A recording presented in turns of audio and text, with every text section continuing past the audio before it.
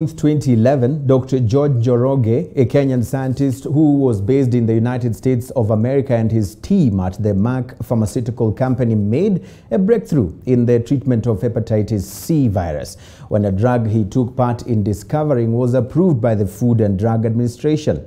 Today, the drug is reportedly demonstrating particularly good effectiveness in inhibiting COVID-19 increase in cells. Could we be staring at a potential breakthrough in the treatment of COVID 19?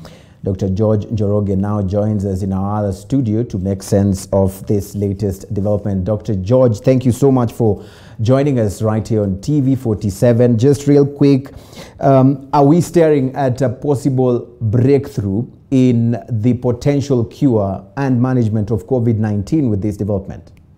Thank you, Eugene, for having me. Yes, uh, this is a very sad time, but on the other hand, it's very interesting that we have some modalities that might pr provide some way to getting either a cure or a prevention for this deadly disease, COVID-19. Yes, the drug you're talking about is called boceprevir. Disco we discovered it uh, around 2011, or it was approved by FDA uh, by year 2011. Uh, to be absolutely correct, it's around uh, May 13th, uh, 2011 for treatment of hepatitis C. And uh, a group from University of Arizona and Purdue University, they've taken that drug and tried to see whether it is effective in inhibiting COVID-19. And one of the interesting things that they did is they looked at this drug whether it can bind to this to the enzyme, to a very important enzyme uh, that is used by the virus to replicate. What the virus normally does, uh, once it gets to a human being cell or to the host cell, it uncoats itself, and once it's inside, it generates or it creates new proteins. It, uh, it cuts off some parts of the host as well as virus to make new proteins. It also replicates its uh, uh, nucleic material, which is the genetic material, and then uses those protein pieces as well as the genetic material to form new viruses. Now, the drug we have prevents this virus from making those new proteins, meaning, therefore, if it cannot make new proteins, then it cannot make new viruses. What these groups have done they've figured out how this enzyme makes those new proteins, and now we can use the drug that uh, we made for hepatitis C to do a similar thing as it did for hepatitis D to COVID-19. Interestingly enough, they know now how the drugs work, where it is, where it goes to the virus, and how it prevents the virus from proliferating. This is exciting because many of the drugs that we have, uh, you know, there are like three different methods of, uh, that are, be, are being tried. One of them is a vaccine, uh, the other one is antibodies, and then the small molecules, which we are now calling repurposing, using some of the old drugs to treat a new, uh, a, a, new, more, a, new, a new disease. So what we, the exciting thing is now we have a mechanism, we have a drug that intercepts a particular mechanism in the virus, which is very interesting because now we can play around with that molecule, make it better, and more importantly, if we get resistance, we know where the resistance will come from and we can modify that drug. So the drug is pretty exciting, and as I said, it's very early because the studies that have been done are in the cells, not in animals. The next step would be to take that, that drug and do some studies in animals and then eventually do what we call clinical trials uh, in human beings.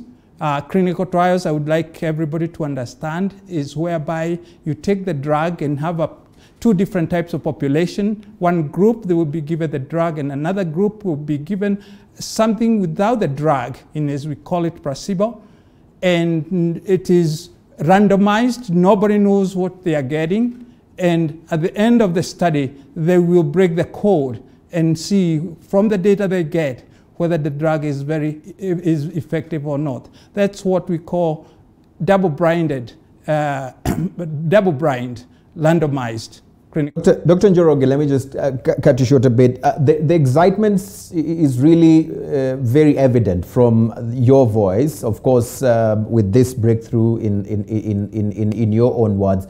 But uh, that viewer watching us tonight, uh, might be telling us, save us the jargon, save us the whole scientific processes of how the coronavirus, uh, you know, behaves in our body systems. We want to know when are we going to be told, look, you can walk into this pharmacy or walk into this hospital and the doctor will prescribe uh, this medicine to cure you from coronavirus? Good question. Yes, the drug, as you know, has been approved by FDA for HCV. It hasn't been approved for COVID-19 because it's in ARIS studies. So we hope that WHO will approve that drug to go on for clinical trials. It's only after the clinical trials that, and we seeing the results, whether it's positive in human beings, then that's when it could be approved for treatment in human beings we don't know how when that will happen. We are hoping it will go fast. As you've seen from newspapers, there are a lot of other drugs that are undergoing clinical trials. Some of them have failed, and some of them have succeeded. You just saw some data, uh, some data today. Some of the vaccines are working. So uh, we have hope that uh, this medicine will also maybe see the light of day in the clinical trials. And after that, that's when we can actually now say when it would be available for treatment. If you look at Kenya today, the numbers were the highest uh, recorded um, ever since the announcement of the cases, uh, you know, started in the country. Um, what is your own assessment on how we are actually uh, fighting this war against COVID-19? Uh, some people would look and say we are actually not winning this battle. That's why you're seeing those from Eastleigh leadership uh, saying that why are we extending this cessation uh, of movement when we don't have an analysis of how the first announcement or how the first move to cease movement in those areas uh, did work. And the numbers continue to increase, especially during this particular week. What would be your assessment of how we are fighting this COVID-19? Are we really winning this battle? Well, having come from USA and been following what's going in the rest of the world, uh, I, I think Kenya, we are doing very well. However, we should not be complacent. This is a dreadful disease. Viruses are dangerous things. We cannot play around with them. So we have to continue to do everything within our means to make sure that we adhere to all the things we have been told about washing our hands, uh, social distancing, uh, staying at home. All those things we should do even more of it so that it doesn't uh, go even further. Viruses can go very quickly, just like fire and you just need a population getting some of it and then it, it, it, proliferates to the rest of the population. So we are doing well, but I think we can do better and we should continue doing better. The government is doing a good job sensitizing this issue and making people understand that one person can infect quite a number of people and those could infect it is, you know, it can continue like that and that would be dreadful for our country. So to answer your question, I think we don't have yet a drug that we can say a vaccine that will take care of this. So the only thing we have now is uh, the hygiene area that we can take care of, and we should continue doing that. let you go, uh, Daktari. I mean, there, there those who've, especially those from the African continent, have been uh, saying that uh, the, uh, Western experts, uh, those who call themselves uh, experts, have been sort of like prophets of doom when it comes to uh, what they say um, uh, will face Africa as far as COVID-19 is concerned. Remember, before the cases started trickling into Africa, uh, there are those experts who kept saying that, uh, you know, when this uh, COVID-19 lands in Africa, on the continent of Africa, then there will be, uh, I mean, so many deaths were expected. We've seen uh, even statements concerning um, the, the projections of the numbers that are, were expected, but yet we are not seeing uh, a fulfillment of those particular statements. Do you also see them just as prophets of doom?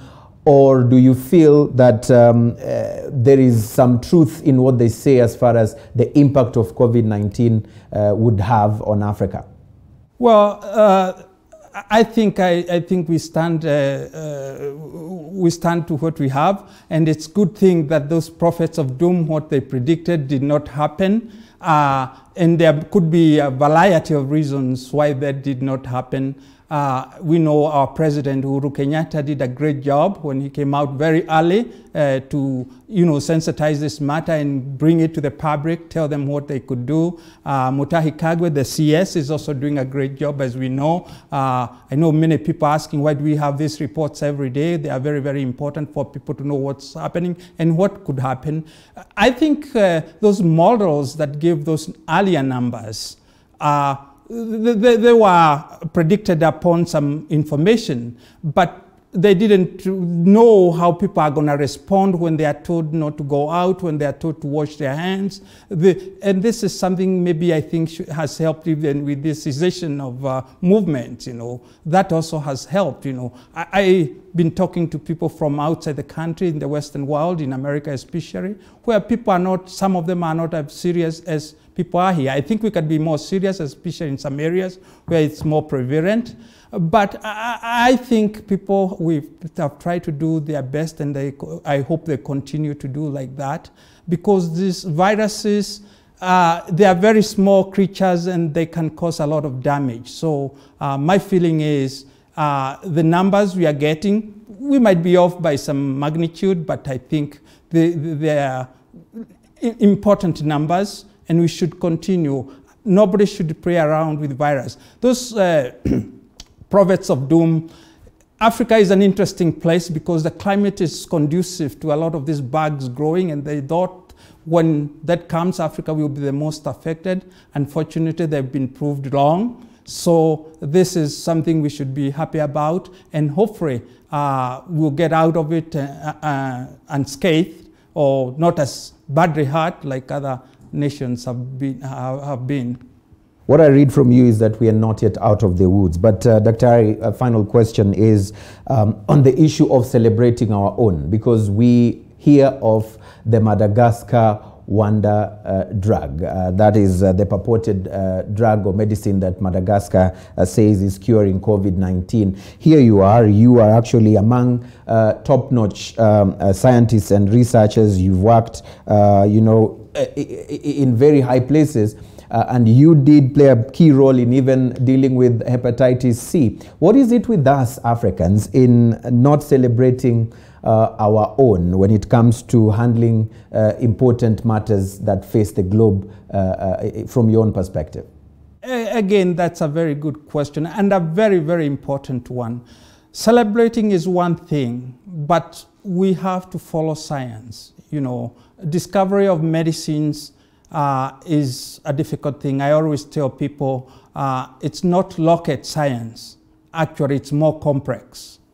So when you hear somebody says that this medicine can cure, the question you have to ask, where is the data? Show me the data. And the data can only come from what I have just said, double-blind, randomized clinical trials. That's where you have a very well-controlled case you know, originally people said that, you know, hydroxychloroquine will cure, but when they, they, the first experiment that was done was not a controlled one. Now when they do a controlled one, they don't see the efficacy they had uh, uh, talked about. So what we need, I know some of these medicines, even the herbal medicines, could be very, very useful. But what we really need is to do thorough clinical trials to establish that these medicines are really working. It's not anecdotal. Otherwise, if we play around with anecdotal data, we'll end up in finding something which we think is working. At the end of the day, it might end up to be nothing. So it is very, very important that we take serious steps in doing the right clinical trials, guided by the WHO guidelines, so that we get uh, data that is meaningful. In just under 20 seconds, Dr. if you can, uh, there are those who say that we should not be talking about post COVID 19. we should be talking about adapting to uh, what we are facing today uh, as a globe. Uh, what would be your quick uh, take on this? Should we get out there and just wear the masks, wash our hands, and live life, uh, you know, like we used to only adjust to these new measures? Or should we lock ourselves up and wait for the day when we are being told that there is nobody or there's no infection of COVID 19 out there? What should we be doing? My take on that is we have to be very, very careful because although there are promising data from, let's say, the vaccines, from the antibodies, and from repurposed drugs, Again, things like vaccine could take a long time. We don't know whether you know we'll get some or not.